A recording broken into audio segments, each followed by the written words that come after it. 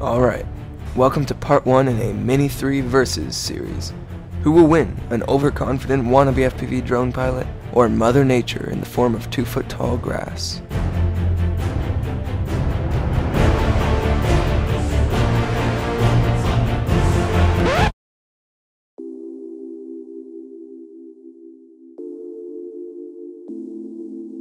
So I had my drone up at my grandparents' place in West Virginia at like 5:30 in the morning, hoping to get a cool sunrise, cool clouds, that sort of thing. And my grandma, who gets up at like 4:30 or something for whatever reason, suggested that I check out this cool little pasture pond that had steam rising from it, cuz evaporation or condensation or, or something like that. I learned about it in science this year.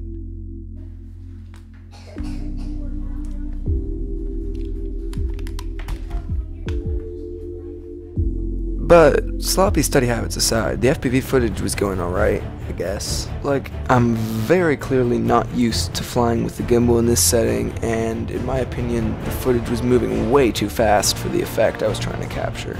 Anyways, basically what happened with the upcoming incident was that after I circled this pond here, I cooked it out over this field with my gimbal pointing downwards at like negative 30 degrees, and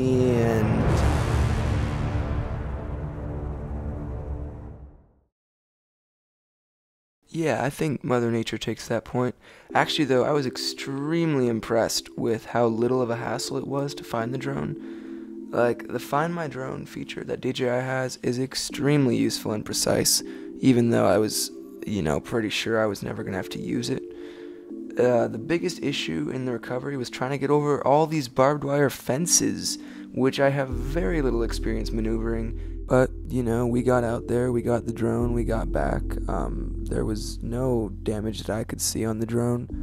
The gimbal was overloaded, obviously, because it had been sitting in grass for so long, but that was easily recalibrated. Overall, barely a scratch, you know. Wipe it off, it's fine. I'm impressed, DJI. You know, that thing took a hard fall and and barely even flinched. Seriously though, check this out. So I'm like, you can see I'm just, you know, come around the pond doing my thing, and I get to here. And I'm actually, you know, it was a crash. It was a crash, I admit. But I'm pretty happy with my reflexes right in here. Look at this. Come up and just. No, come on. Dance under the tree right there. Missed that thing by inches. And if I would have been able to pull up, I might have had I might have had a sick video where I survived there.